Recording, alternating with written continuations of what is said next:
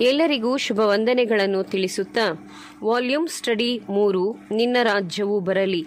ಅಧ್ಯಾಯ ಆರು, ಸುಗ್ಗಿಯ ಕಾರ್ಯ, ಪುಟ ಎಂಬತ್ತೊಂದು. ವ್ಯಕ್ತಿಗತವಾಗಿ ಪರೀಕ್ಷಿಸುವುದಾದರೆ, ಯಜ್ಞದ ಕುರಿಯಾದಾತನ ಹಿಂಬಾಲಕರಿಗೆ ವಾಗ್ದಾನ ಮಾಡಿದ ರಾಜ್ಯದಲ್ಲಿ ತಮಗೆ ಯಾವುದೇ ಹಕ್ಕು ಇಲ್ಲವೆಂದು ಹಣಜಿಯ ಪ್ರತಿಯೊಂದು ವರ್ಗಕ್ಕೂ ಅರಿವಿದ್ದಂತೆ ತೋರಿಬರುತ್ತದೆ.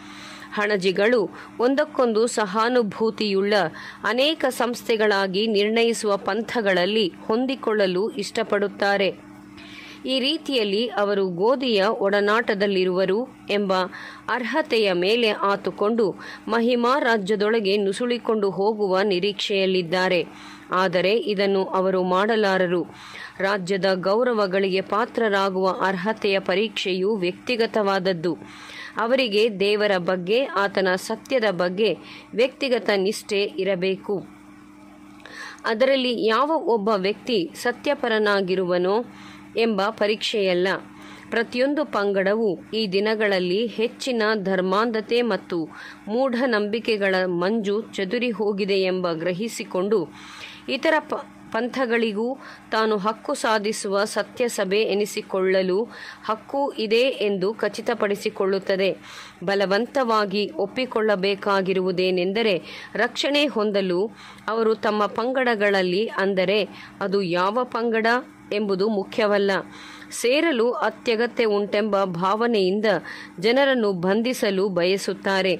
ಈ ರೀತಿಯಲ್ಲಿ ಅವರು ವ್ಯಕ್ತಿಗತ ಜವಾಬ್ದಾರಿಯ ಕಲ್ಪನೆಯನ್ನು ಪಂಥೀಯ ಬಂಧನದೊಂದಿಗೆ ಒಂದುಗೂಡಿಸುತ್ತಾರೆ.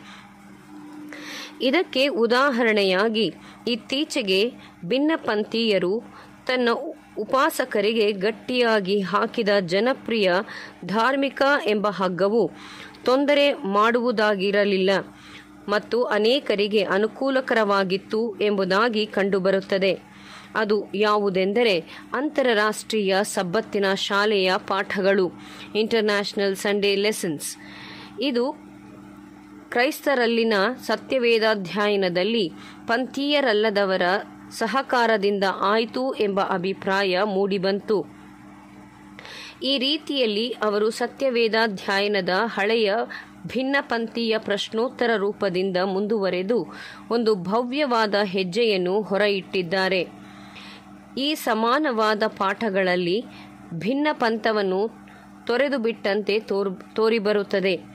ಎಲ್ಲ ಕ್ರೈಸ್ತರು ಸತ್ಯವೇದಾಧ್ಯಯನಕ್ಕಾಗಿ ಅದರ ಬೆಳಕಿನಲ್ಲಿ ಒಂದುಗೂಡಿ ಬರುವುದೇ ಸರಿಯಾದದ್ದು.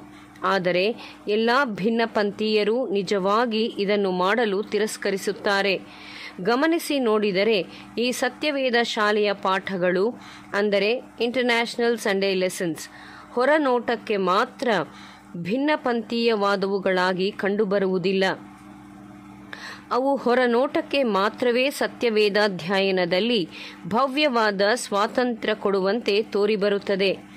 ನಿಜವಾಗಿಯೂ ಪ್ರತಿಯೊಂದು ಪಂಗಡವು ಈ ಪಾಠಗಳಲ್ಲಿರುವ ಪರಿಶುದ್ಧ ಗ್ರಂಥಗಳ ಬಗ್ಗೆ ತನ್ನದೇ ಸ್ವಂತ ವಿಮರ್ಶೆಗಳನ್ನು ಸಿದ್ಧಪಡಿಸುತ್ತದೆ. ಈ ಪಾಠಗಳನ್ನು ಆಯ್ಕೆ ಮಾಡುವ ಸಮಿತಿಯವರು ಸಾಮರಸ್ಯ ಮತ್ತು ಅನ್ಯೂನ್ಯತೆಯ ಬಾಹ್ಯ ತೋರಿಕೆಯನ್ನು ಗುರಿ ಮಾಡಿಕೊಂಡು ಕಡಿಮೆ ಭಿನ್ನಾಭಿಪ್ರಾಯಗಳುಳ್ಳ ಪಾಠಗಳನ್ನೇ ಆಯ್ಕೆ ಮಾಡುತ್ತಾರೆ. ಬಹಳವಾಗಿ ಚರ್ಚಿಸಬೇಕಾಗಿರುವ ಪರಿಚ್ಛೇದ ಮತ್ತು ಸಿದ್ಧಾಂತಗಳನ್ನು ಚರ್ಚಿಸದೆ ಹೋಗುತ್ತಾರೆ. ಏಕೆಂದರೆ ಪ್ರತಿ ಪಂಥಗಳ ಸರಿ ಮತ್ತು ತಪ್ಪುಗಳು ಪ್ರಕಟವಾಗುವುದೆಂದು ಮತ್ತು ಒಬ್ಬನೇ ಕರ್ತ, ಒಂದೇ ವಿಶ್ವಾಸ ಮತ್ತು ಒಂದೇ ದೀಕ್ಷಾ ಸ್ನಾನ ಎಂಬ ಆಧಾರದಲ್ಲಿ ಎಲ್ಲರೂ ಒಂದೇ ಅನ್ಯೂನ್ಯತೆಗೆ ಬರಬೇಕಾಗಿರುವುದೆಂದು ತಿಳಿದು ಇವುಗಳನ್ನು ಪಾಠದಲ್ಲಿ ಗಣನೆಗೆ ತಂದುಕೊಳ್ಳುವುದಿಲ್ಲ. ಆದರೆ ಅವುಗಳು ಪ್ರತಿಯೊಂದು ಪಂಗಡಗಳಲ್ಲಿಯೂ ಮುಂಚಿನಂತೆಯೇ ಭದ್ರವಾಗಿ ಹಿಡಿಯಲ್ಪಟ್ಟಿರುತ್ತದೆ.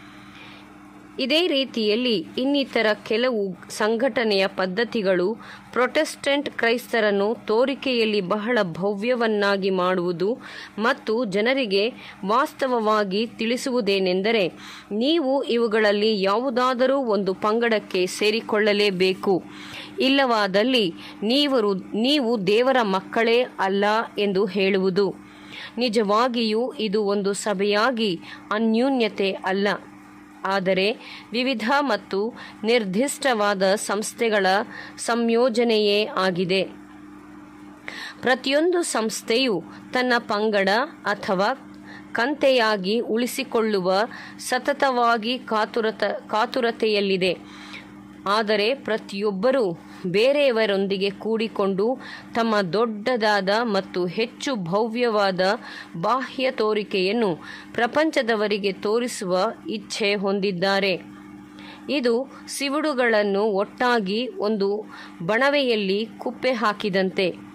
ಪ್ರತಿಯೊಂದು ಸಿವುಡು ತನ್ನದೇ ಆದ ಕಟ್ಟನ್ನು ಅಥವಾ ಸ್ವಂತಿಕೆಯನ್ನು ಉಳಿಸಿಕೊಳ್ಳುತ್ತದೆ ಮತ್ತು ಇನ್ನೂ ಹೆಚ್ಚು ಬಿಗಿಯಾಗಿ ಇತರೆ ಕಟ್ಟುಗಳೊಡನೆ ಭವ್ಯವಾಗಿ ಕಾಣುವ ಬಣವೆಯಂತೆ ಭದ್ರಗೊಳ್ಳುತ್ತದೆ ಎಂಬುವಂಥದ್ದೇ.